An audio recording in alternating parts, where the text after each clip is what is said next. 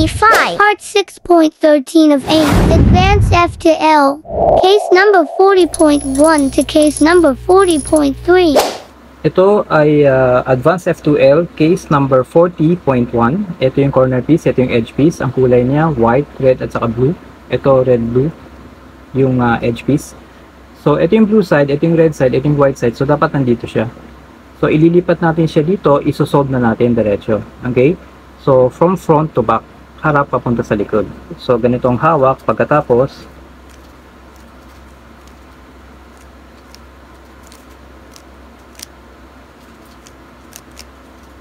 Ito na siya.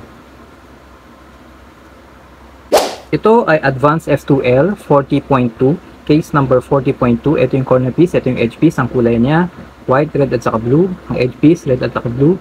So, dapat ito ay nandito. Ito yung blue side, red side, ito yung white side. Okay? So, ilalagay na natin dito, uh, isosolve na natin kaagad. Okay? So, ganitong hawak. Pagkatapos,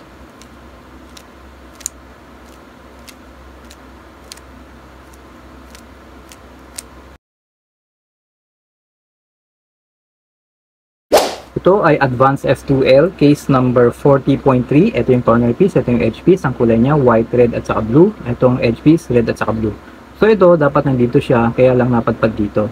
Ito yung red side, ito yung blue side, yung white nasa ilalim niya. Okay? So dadalhin na natin siya dito, isosolve na natin siya. So pa-diagonal siya. Okay? So ganitong hawak, pagkatapos